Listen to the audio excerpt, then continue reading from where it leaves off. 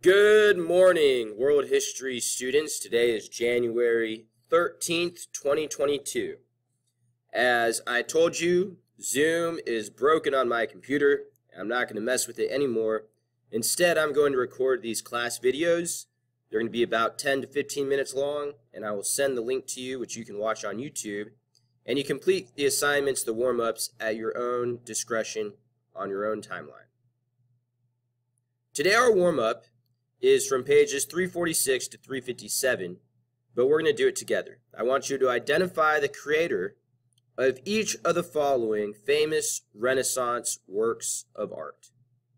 Number one is the statue David, and we're talking about, about the adult David holding the sling, not young David, by Donatello. The Last Supper, a painting, a masterpiece of perspective. The Vitruvian Man, a sketch. Gattamelata, an equestrian statue. And part of a much larger work of art called The Ceiling of the Sistine Chapel. The most famous panel from that chapel is the creation of Adam.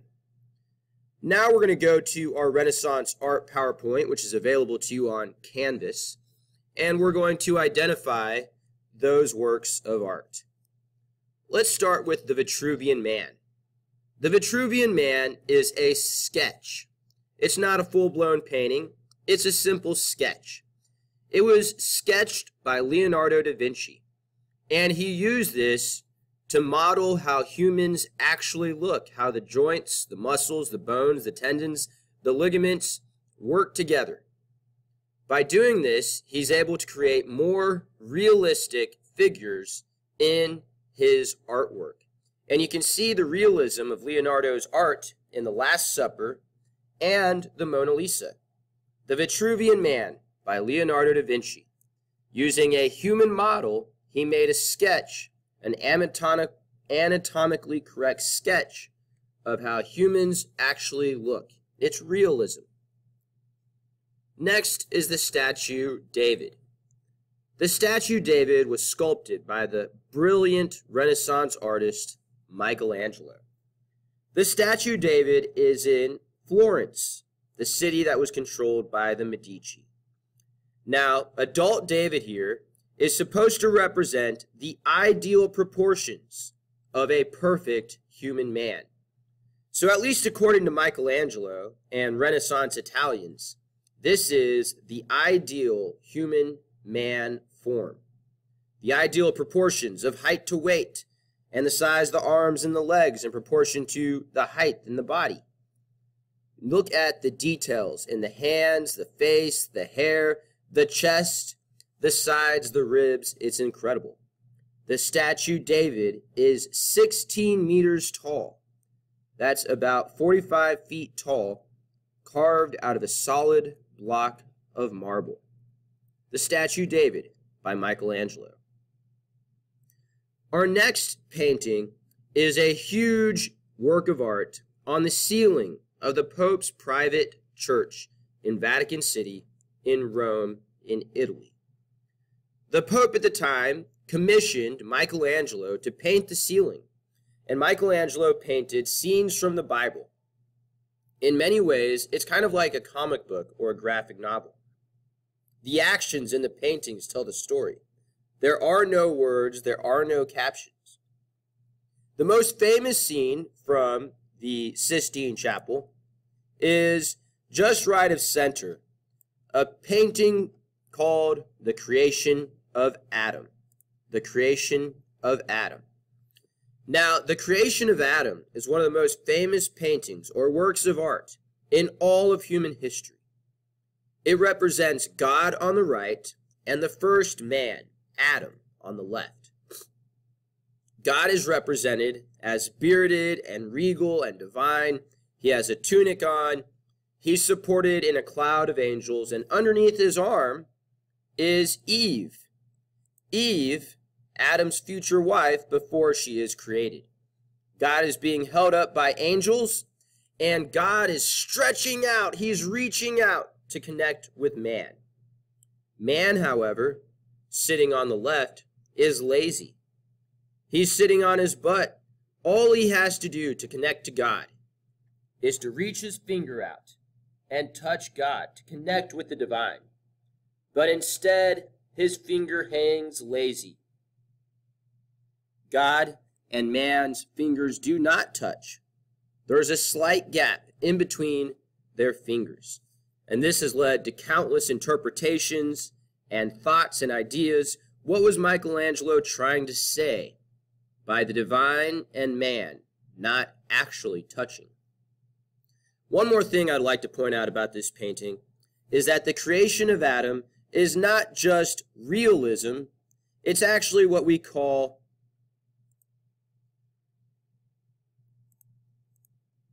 it's actually what we call idealized realism. So these are not just realistic looking human characters. These are bodybuilder human characters. These are idealized, once again, kind of like comic books. They have huge muscles. They've been working out a lot. So both Adam and God have large biceps and big legs. They've obviously been working out a lot. They're professional athletes. Let's continue on. Our next work of art that we need to look at is, actually, let's go back to our warm-up. So on our warm-up, back to our warm-up, let's go ahead and answer a few of these. The statue David, adult David, was sculpted by the brilliant artist Michelangelo.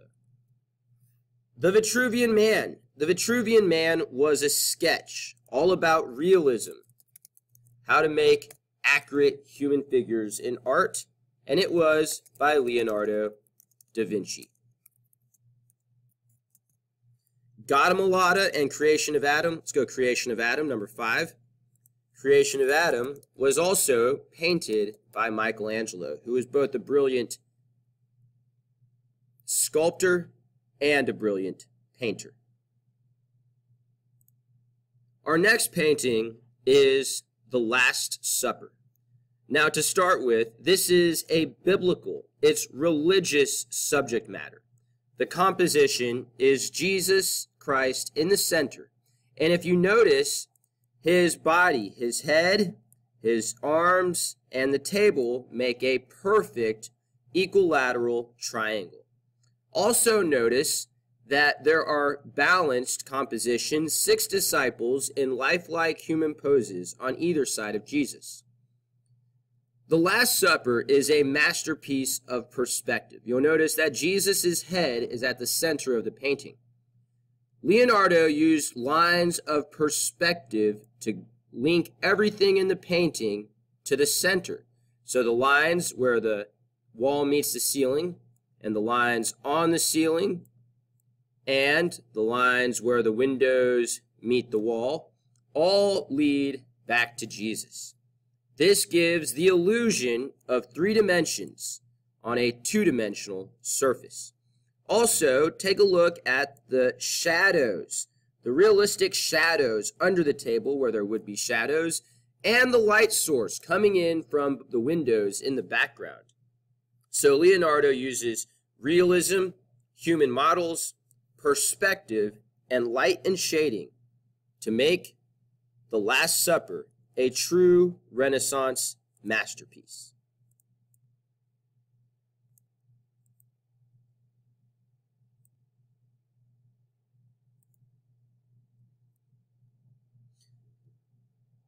The last work of art that we're going to look at today in our warm-up is Gattamelata by Donatello. Donatello was a famous Renaissance artist. He also sculpted a young David out of bronze, but he was most well known for his equestrian statues, statues of riders on horses, like this one of the Italian warlord Gattamelata. So now we can complete our warm-up. The Last Supper, as we know, is a masterpiece of perspective, of realism, and of shading, light and shadows, painted by Leonardo da Vinci. Gattamelata was sculpted by the artist Donatello, and it is an equestrian statue. You're welcome now to take a screenshot of the warm-up. We'll turn them in tomorrow or on Tuesday when we return to school. And now we're going to go to Canvas. All right, and now we're on our Canvas page. I'm in student view, so your Canvas page should look much like this one. And I want you to look on the right side of the screen, and it has our upcoming assignments. So this week we had Chapter 16, Lesson 1, Guided Reading that was due on the 12th. You can still turn that in for full credit. Renaissance Art Notes. When we click on Renaissance Art Notes, it'll take us to the assignment.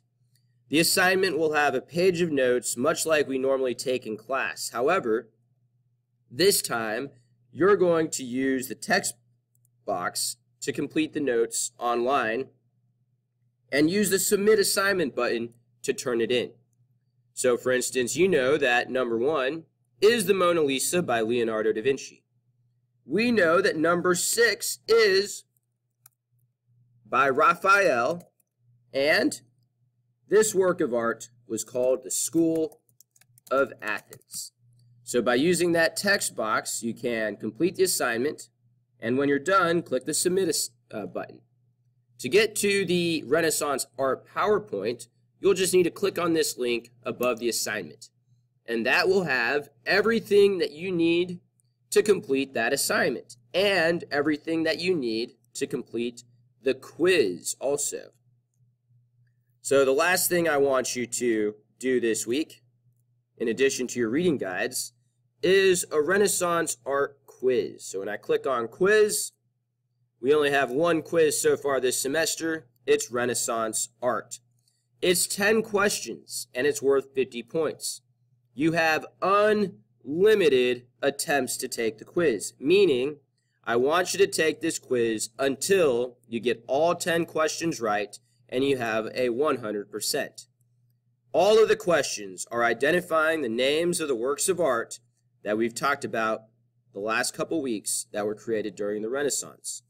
So, for instance, this sculpture we know is the David by Michelangelo. Take the test, the quiz, as many times as you need to to make a 100%. You also have the two reading guides due this week, and I just wanted to make a note that if you are new to class, if this is your first uh, week in Coach Wright's World History class, I will give you some leeway and some grace in getting these assignments turned in next week. But for everyone else, I want you to be caught up and make sure that you are doing what you need to do to make a good grade in world history. I'm going to leave you all with that today. Also, if you need to talk to me, if you need to um, my help to help you with an assignment, you're welcome to call me on my school phone number.